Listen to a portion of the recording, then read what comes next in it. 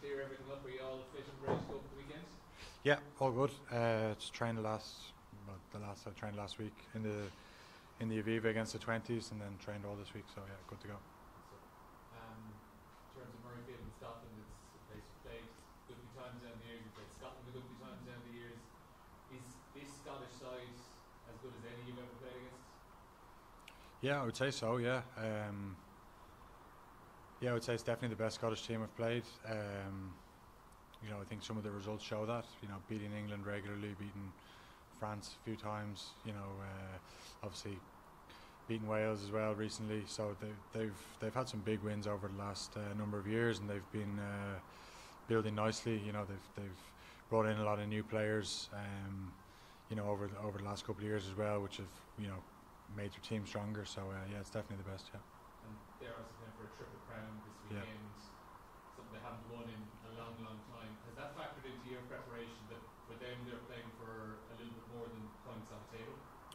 Yeah, it's something that we had to acknowledge because it's going to make for a very special atmosphere over there. I'm sure. Um, you know, it always is a special atmosphere, even if there was nothing on the line. But there's a you know a huge game now with with them going for triple crown and still in the championship, and um, us obviously in the championship and and uh, obviously wanting to try and win a triple crown ourselves. So it's uh, yeah, it's a massive game. Um, so it's great to great to be part of. Johnny, how's the mood in the camp? Um, a little more edge everything this week?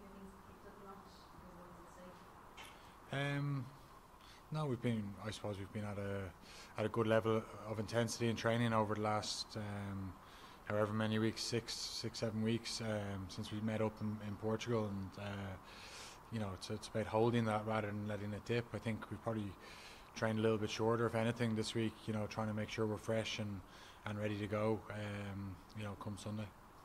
How did you find it in the stands watching the game against you? Were you a good spectator or were you come off your seat? No, no, I wouldn't say I'm a good spectator. Uh, it was tough. It was tough to watch. You know, you want to be. They're the games you want to be playing in. You want to be involved, um, and also you want to be able to influence what's going on and, and be a part of it. And when you're sat in the stands, you've got you've got no influence. There's nothing you can do. Um, so it was tough watching it, but thankfully the lads uh, got got it done and uh, five points more and, and you know exactly where we want to be. After that rest I suppose, good to get a couple of players back, but you run the risk of losing a bit of momentum. Is that something you're caught, like, conscious of, or do you kind of take these next two weeks in isolation? Lose momentum from the break. from the first three wins? and, Oh yeah, well we had a gap after the French game as well. Um, this this is all factored in. It's nothing that we as players have to worry about. It's things that the management have to worry about, and um, you know we just have to turn up day to day and, and make sure we perform our best. That's our focus, and no, we wouldn't say that it's it's dipped off in any way. Trying to get involved in Grand Slam and teams before groups. You get a sense of destiny about it when you've won three games in a row? Does it feel like that? Um, no, it's obviously the the expectation maybe and the, the all the talk now becomes about that. But for us, it's the it's the next game. We have been very game by game focused, and and that's exactly what we're doing this week. We're, we're taking this as another one off, and um, the good thing about having the the break that we just spoke about is that we've had two weeks to prepare. Um, you know, the, the benefit of being in the Irish system is you, you have all your players at home. You've got guys in camp last week, um, and you, you have an extra little bit of time to prepare. So, um, you know, it was good from that regard because this is a, is a huge game. So, the more preparation time you have, the better. Just away from the Six Nations, Leo Cullen signed on for two more years at Leinster, um, and he talked about rejigging the coaching staff uh, in the summer. Have you had any discussions with Leinster uh, about joining the coaching staff next year? No, no. Is it something you'd like to do down the road in your playing career? Um, I would never say never because again, you, you never know what life's going to throw at you. It's not my plan straight away. I don't think it would be right straight away if if offers did come in. It wouldn't be right for me to, to go in and coach with guys that I've played with for the last number of years. Or um, I certainly wouldn't want to jeopardise this year.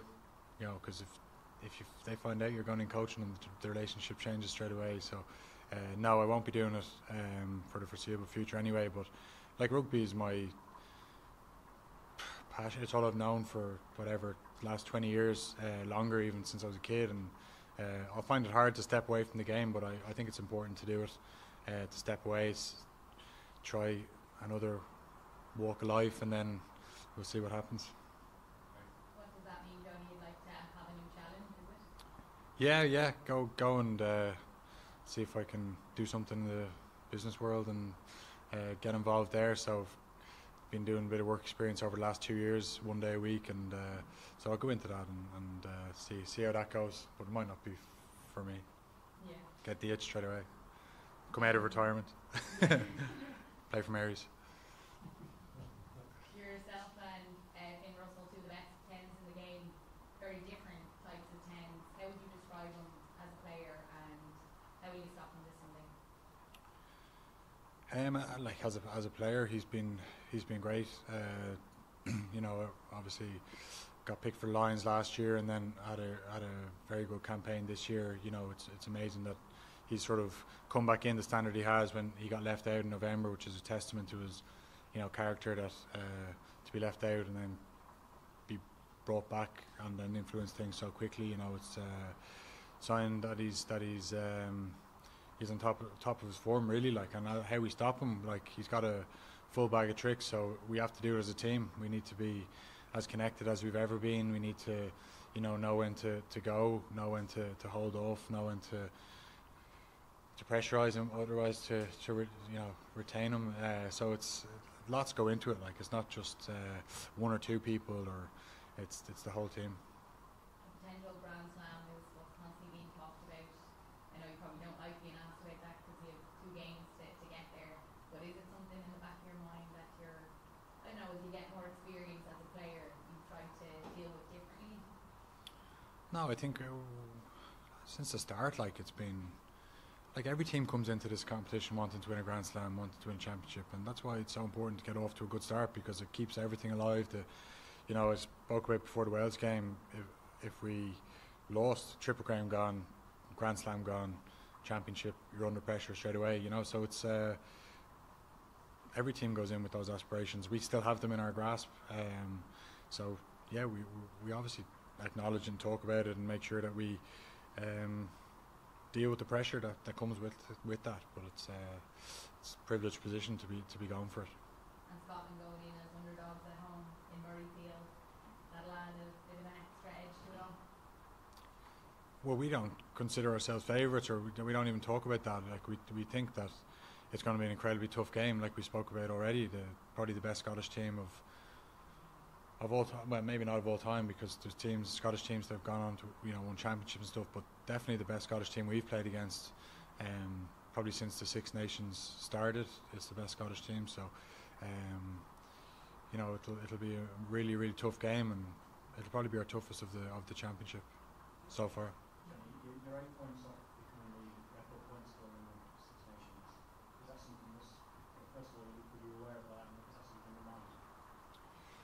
Um, yeah, it's it's it's something that you have people that, that say it to you, or you see it on, I suppose, social media, or uh, Irish Rugby tagged me in something today, which I wasn't too happy about. Uh, so it's um, yeah, you you it's there, like you know I mean. But it, it, I don't think it's going to add any pressure to me or anything like that. It's uh, it's not something I ever set out to do, or you know, um, I'd rather not score another point and win a championship, win a Grand Slam, then you know get the the points record. It doesn't it doesn't be bother me, bother me too much. Um, if it comes, fantastic. But if not, it's not not something I'll lose sleep over. I just explained it there. Like it, it'll it will be a bonus. Um, but like I said, it's not in my thoughts. It's in my thoughts are about making the team win. Uh, um, you know, the right decisions to go to the corner and pass some points, I'll do that for the team. You know, it's nothing. It's nothing really. Like you know what I mean. Um, but like I said, if you, if you do it, it's an amazing mark to, to do. And Ronan obviously had an amazing career, and even just to be in the in that same conversation is, is enough for me. Take last one in this section, guys. Okay. Oh, can I ask one more? Just, just on your injury, can you maybe give us more information? Like you said, Antonio landed on your, your groin. Can you maybe give a more detail on what your injury was? My groin. See, he landed on my hip, yeah, and, and he hurt my groin.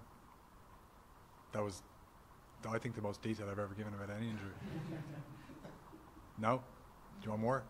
The, ex- That's, that's up to you. the exact muscle? No, we'll switch into the environment